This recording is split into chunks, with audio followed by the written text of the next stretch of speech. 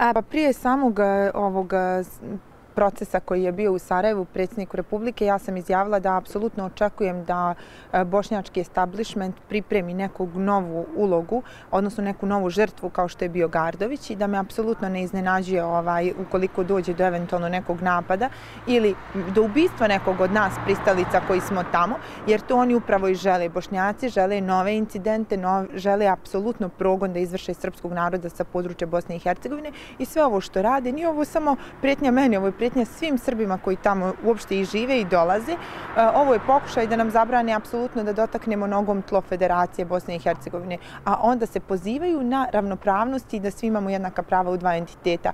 E, ja se apsolutno ne plašim sve dok je Ministarstvo unutrašnjih poslova ovako dobro organizovanog na području Republike Srpske, ja sam spokojna, ne plaše me ni Tijel Mujahedini ili kako već, uopšte me ne zanima jer oni ništa drugo ni nemaju, već potrebu da kolju i progone Srbe, ali ja im poručujem, oni to rade na jedan perfidan i morbidan način, a sud i tužilaštvo to radi na jedan hibridni način.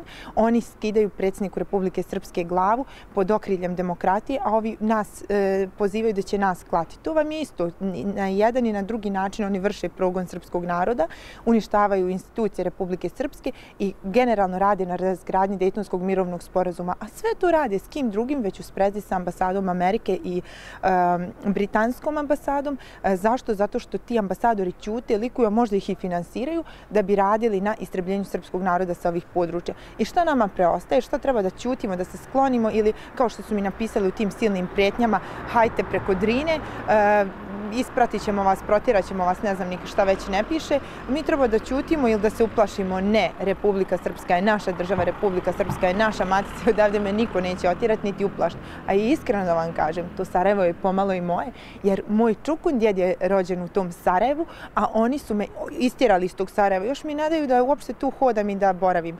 Sve moje reakcije bile su upravo adekvatne ponašanju sudije Unuzovićke koja je ocijecala srpske glave kroz presude e, na jedan nedemokratski način i koja je definitivno protiv srpskog naroda.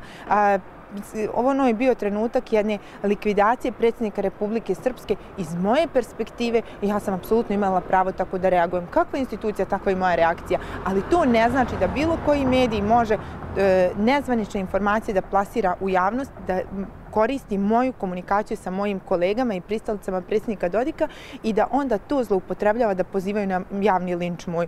O tome neka se bave nadležni organi, ja ništa ne očekujemo od pravosuđa Bosne i Hercegovine, ali vidjet ćemo, evo, važno mi je da Ministarstvo unutrašnjih poslova i PU doboj odrade ono što je u njihovoj nadležnosti, ovi ostali, e, od njih ništa nije ni očekivati, ali ja im kažem, nema njihovih prijetnji koje će moj ponos i srpski nadvladati.